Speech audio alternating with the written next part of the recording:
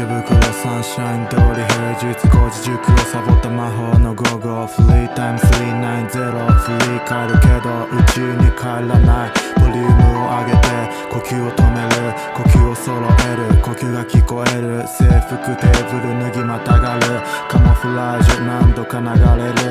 背徳何もないよドラマみたいに君は独特毒を飲むライトのノブまた絞る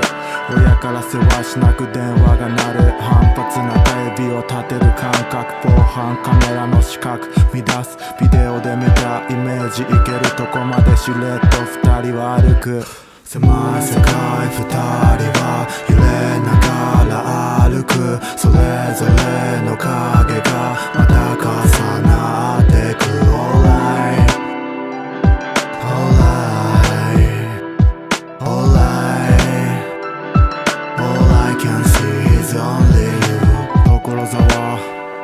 そのまま知らない駅踊った指定の綺麗なスカート汚した。ローファーに履くダック帰りのバス。汗ばんだシャツ。乾くのを待つ無口になってむくくるくると夜は来る。唾液の匂いつく指先。冷える夢の中乾かしペダルを漕ぐのが下手になる。汚れた願い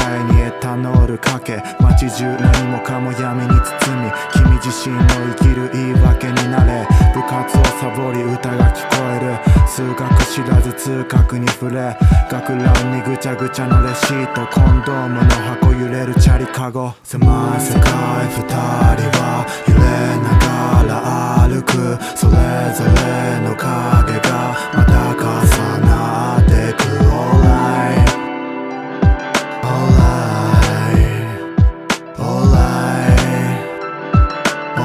can't see his own